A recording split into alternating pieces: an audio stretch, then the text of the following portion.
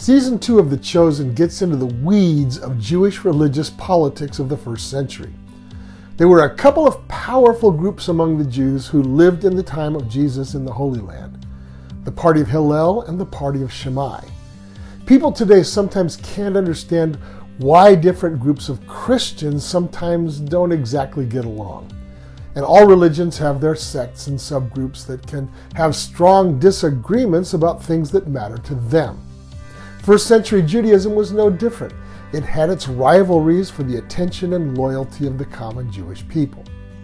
In short, the great Rabbi Hillel, who lived from the first century BC into the first century AD, taught a more moderate version of what it meant to keep the law of Moses.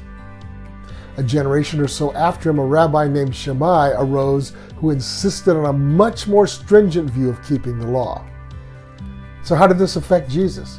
And why is it important to grasp this basic rivalry in order to get the full impact of the chosen?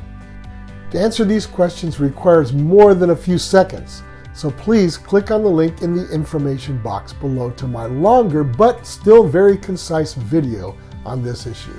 This is Dr. Michael Bogart of Aspect Ministries. See you then.